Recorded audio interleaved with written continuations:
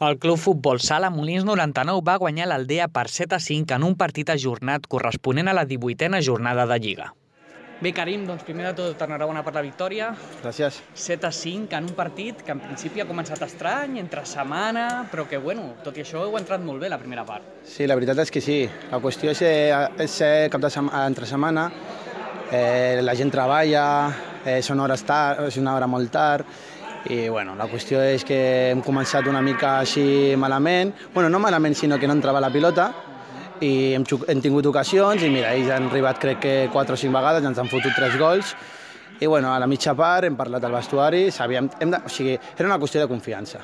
Si teníem confiança, les coses sortien bé. Hem, hem, o sigui, hem anat a treballar més, hem anat a més, a més, a més, i mira, al final les coses han sortit bé. El Molins va començar sense efectivitat de cara a porteria. S'avançava l'Aldea amb un gol de Jaume Peralta va empatar Bruno després d'una bona jugada d'Alfredo.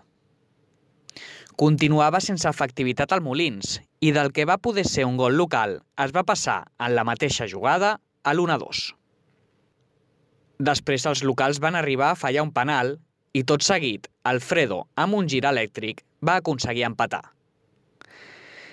Javi va ser expulsat abans del descans i l'Aldea va aprofitar l'ocasió de tenir superioritat numèrica per posar-se per davant a l'electrònic.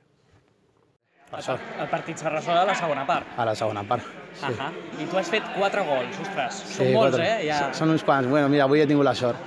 No, no puc dir una altra cosa.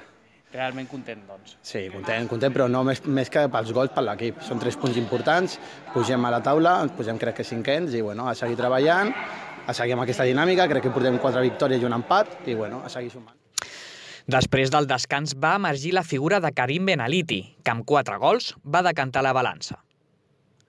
Els quatre gols de Karim van arribar de forma consecutiva. Es va passar d'un 2 a 3 a un 6 a 3 a favor del Molins. Els locals van aprofitar que l'Aldea va baixar el nivell per fer-se amb els 3 punts.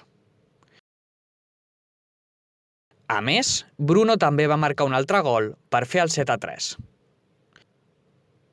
Jugant de 5, l'Aldea va aconseguir situar-se amb un 7 a 5, però el Molins va acabar sumant una nova victòria. Precisament per això et volia preguntar ja per acabar. Cinquens sí. a la classificació, si ens ho diuen fa 3 mesos, no ens ho creiem. Sí, però bueno, això és tercera nacional. Aquí guanyes tres partits, et poses a dalt, perds tres i et, o sigui, baixes a part. O sigui, la diferència de punts entre els, altres els equips no, no, no hi ha molta diferència. Més bé, o sigui, fa dos, dos dies anàvem dècims o anàvem així i ara estem aquí, o sigui, no, no ens hem de dormir tampoc. Molt bé, doncs moltes gràcies. El Molins 99 se situa cinquè en la classificació de tercera nacional i està en el millor moment de la temporada.